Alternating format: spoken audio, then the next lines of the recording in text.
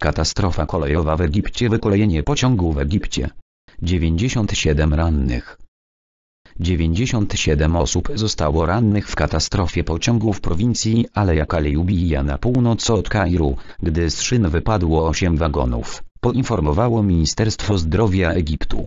Na miejsce katastrofy przybyło ponad 50 karetek, które przewiozły rannych do trzech szpitali w prowincji.